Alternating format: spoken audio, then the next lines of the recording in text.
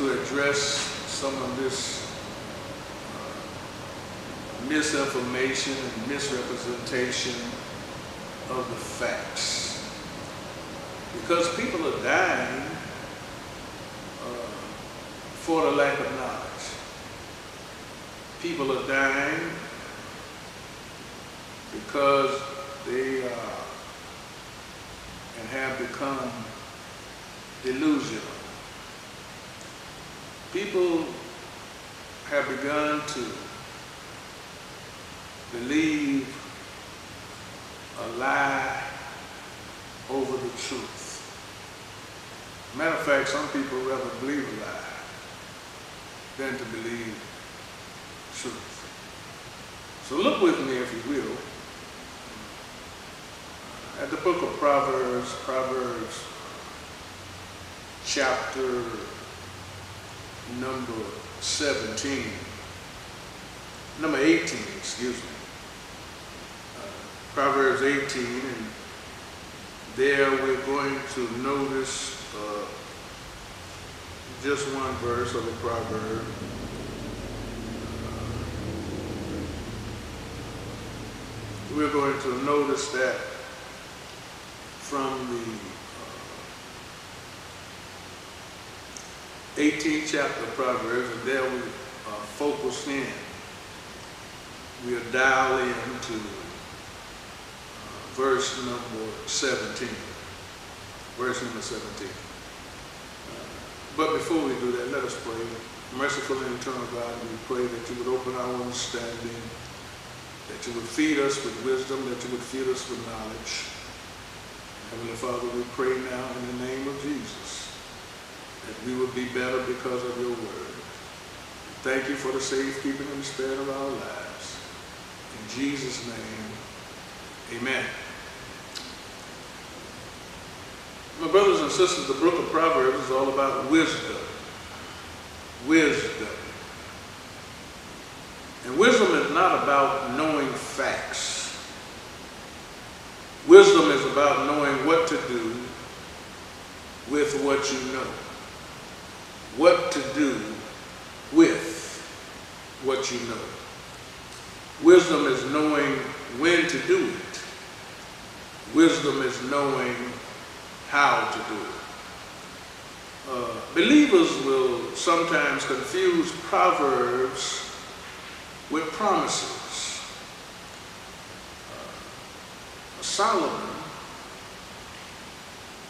in his collection of proverbs, are not promises made by God. Listen, the book of Proverbs is are not promises that were made by God. But they are guiding principles to direct and order our steps that we might live successful and productive lives. Notice uh, this verse, uh, Proverbs 18 and 17. Uh, the New Living Translation uh, reads, the first to speak in court sounds right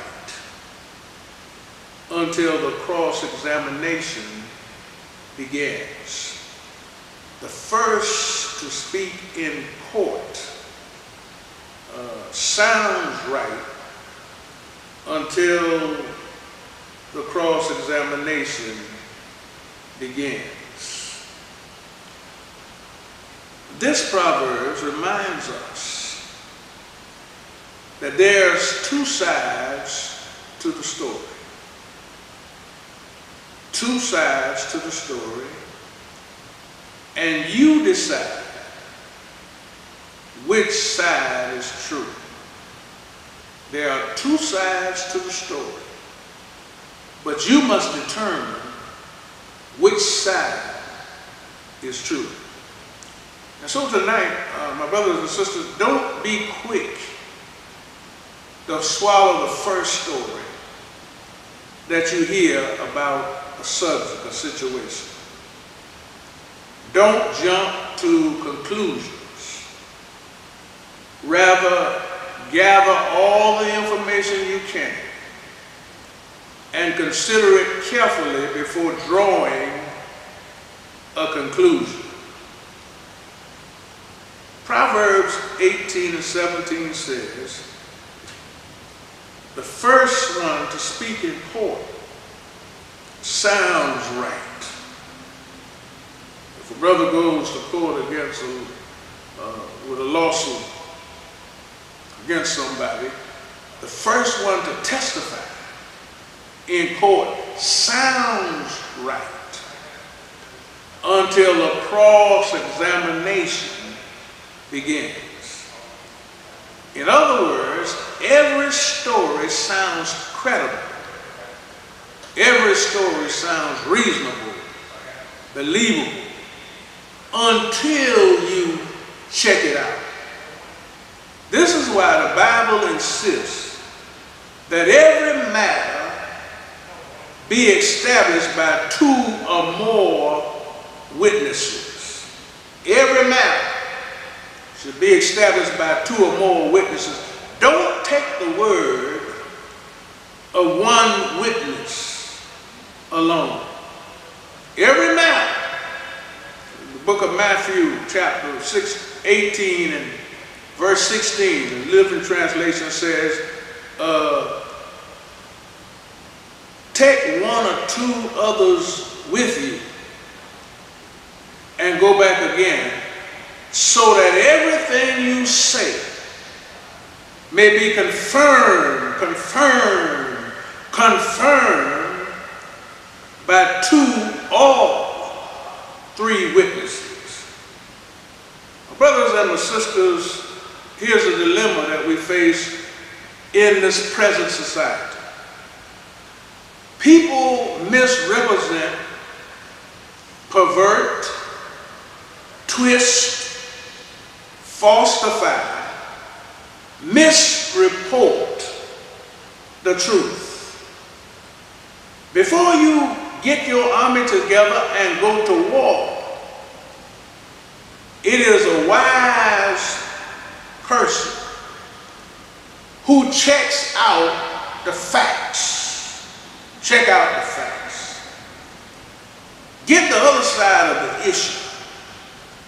Don't be guilty of ruining lives, ruining friends, ruining their reputation by repeating half truth, misrepresenting the truth, disinformation.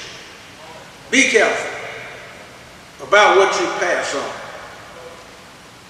We need to be people who are always looking for the rest of the story. Not, not just one side of the story, but the rest of the story. Check the facts. Look at the opposition's argument. You haven't really checked the facts until you understand both sides of the argument. Both sides of the story. Let me give you an example. Rather than assuming the worst about someone or coming to the conclusion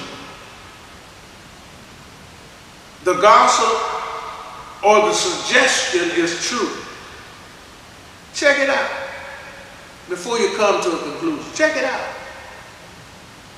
You can have really good success saying to people, listen, I don't know if you know this or not, but this is what is being said about you. You know, just, just go to the person, go to the person, and, and, and strike up the conversation. I don't know if you know this or not. But this is what is being said about you. What's going on? What, what's, what's going on? Listen, there is always another side of the story. And people appreciate the fact that you want to hear it. Before you repeat a story, ask yourself, is this credible? Is it believable? Or is it important? If not, stop it. If not, the buck stops with you. Don't carry it another further. Don't, don't carry it another inch. Don't spread it anymore. And here's the reason why it's important